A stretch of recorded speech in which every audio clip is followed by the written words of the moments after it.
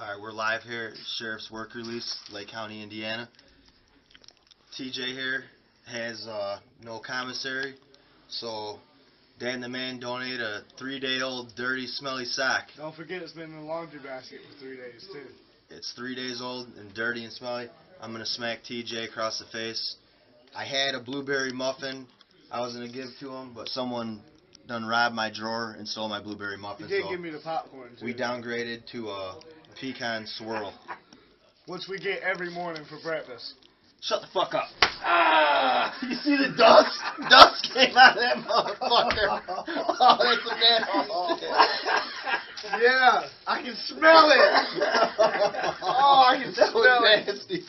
Hold on, hold on. Was it worth it? Oh the man, would have been a lot should have opened it up and put it in the sock and then made him eat it. It's it. a wrap.